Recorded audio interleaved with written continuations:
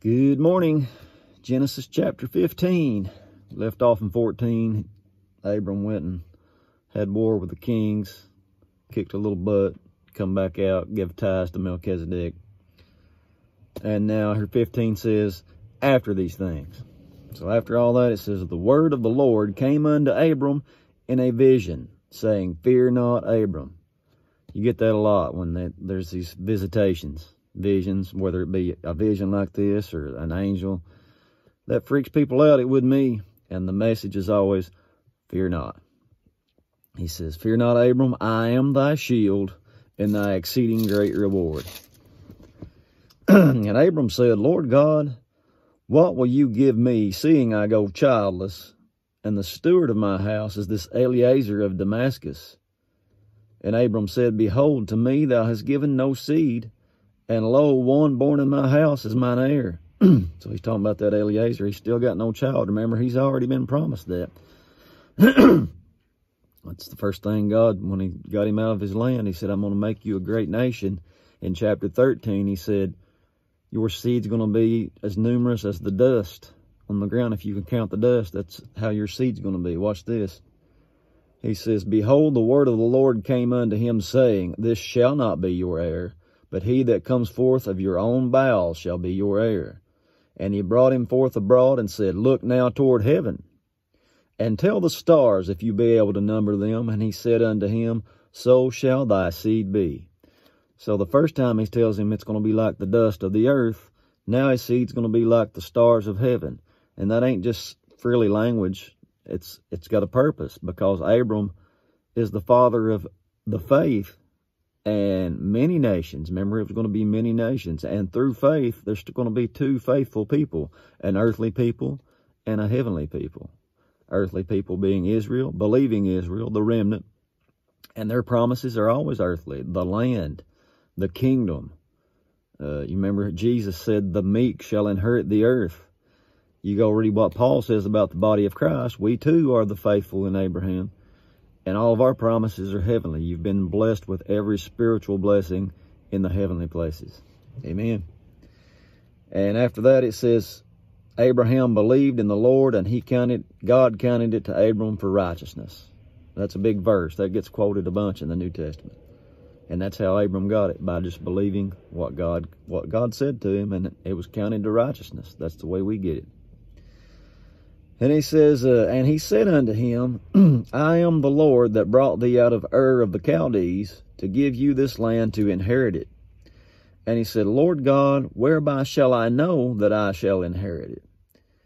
And he said unto him, Take me a heifer of three years old, and a she-goat of three years old, and a ram of three years old and a turtle dove and a young pigeon.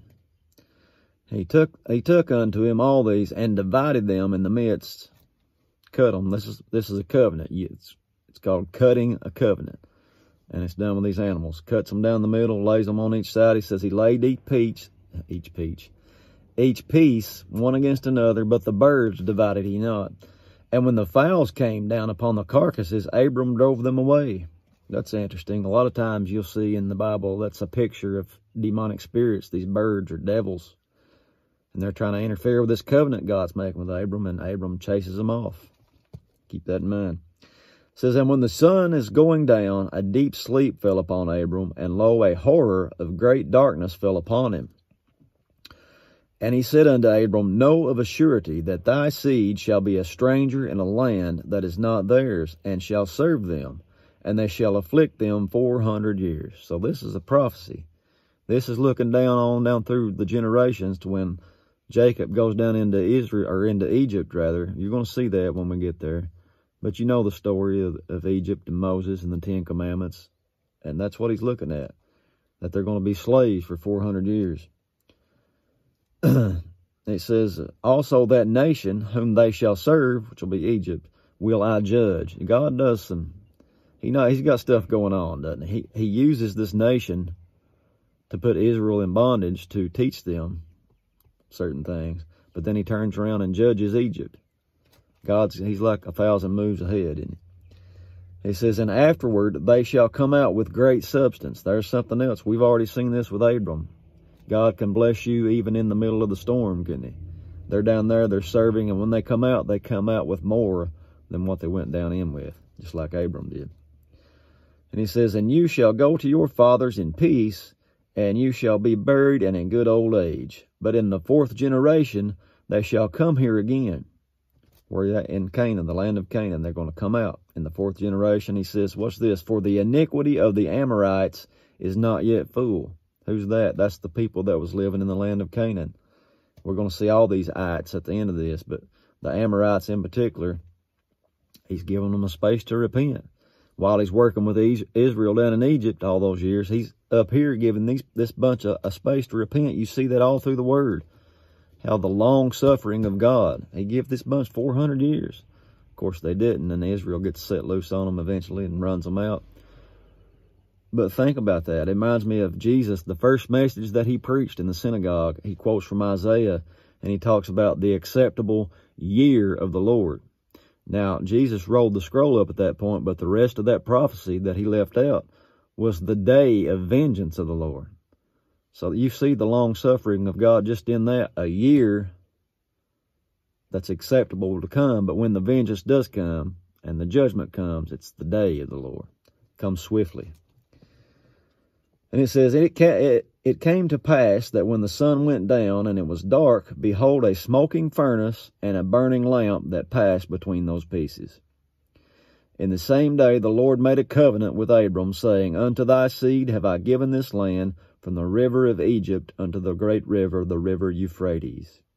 And the Kenites, the, uh, the Kenizzites, the Kadmonites, the Hittites, the Perizzites, the Rephaim, the Amorites and the Canaanites and the Girgashites and the Jebusites. So he's give them all that. And you'll notice it was a, in that dream, he's seen the smoking furnace and the burning lamp. You'll see in Hebrews, looking back on this, he's making the covenant with Abram. But how many, how many of you know sometimes man has a hard time keeping a covenant?